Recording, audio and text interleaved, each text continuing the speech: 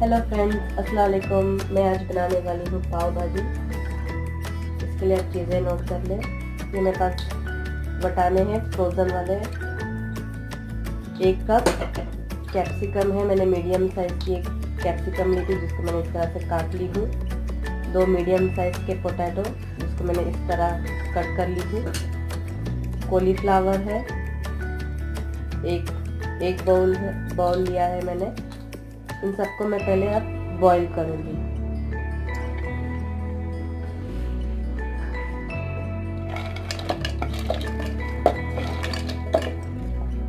मैंने ये fresh beans भी ली हूँ।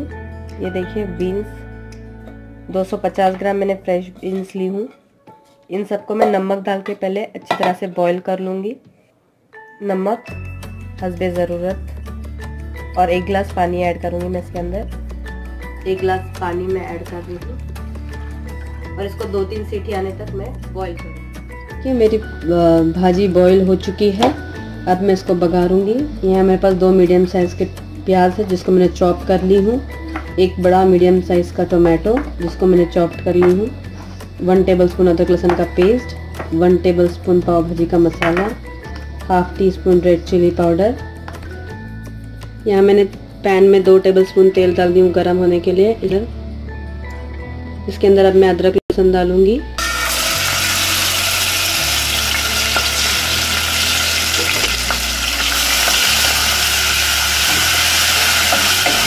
चॉप हुई प्याज डालूँगी मैं।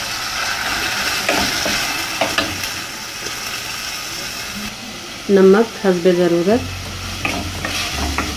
इसको थोड़ा सॉफ्ट होने तक मैं फ्राई करूँगी।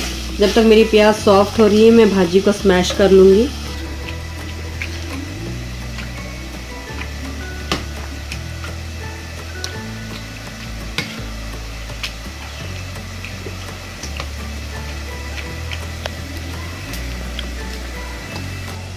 ये देखिए, मेरी भाजी स्मैश हो चुकी है। ये देखिए, मेरी प्याज सॉफ्ट हो चुकी है। इसके अंदर मैं चॉप किया, वो टमाटो ऐड करूँगी। इसको भी सॉफ्ट होने तक मैं फ्राई करूँगी अच्छी तरह से। ये देखिए, मेरी प्याज और टमाटो सॉफ्ट हो चुके हैं। इसके अंदर अब मैं पाव भाजी का मसाला ऐड करूँगी।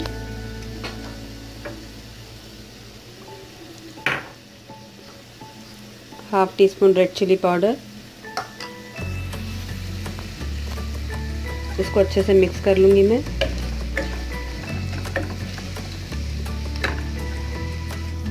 देखिए, मेरा मसाला अच्छी तरह से भून चुका है। अब इसके अंदर मैं स्मैश किए हुए भाजी ऐड कर रही हूँ।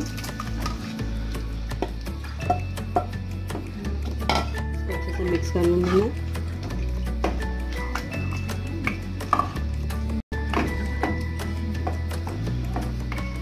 मैंने गैस का फ्लेम हाई कर दिया है ताकि भाजी में से पूरा पानी अच्छी तरह से सूख जाए।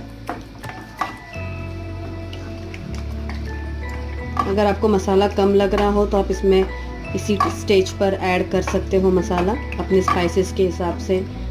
आप इसमें मसाला ऐड कर सकते हैं। ये देखिए, मेरी पाव भाजी बन के तैयार है।